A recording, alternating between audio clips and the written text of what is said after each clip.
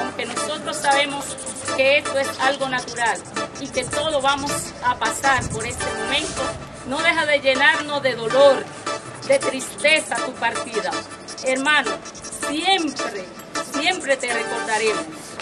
Rubén fue un hombre entregado al trabajo, un hombre recto, un hombre puntual, un hombre cumplidor, apegado a las reglas y a las normas. Asociación Dominicana de Profesores ADP en el municipio de Atomayor eh, estamos todos de luto, los profesores y las profesoras esencialmente, porque realmente hemos perdido uno de nuestros miembros, de nuestros afiliados y una persona que siempre se dedicó de manera íntegra a la labor docente.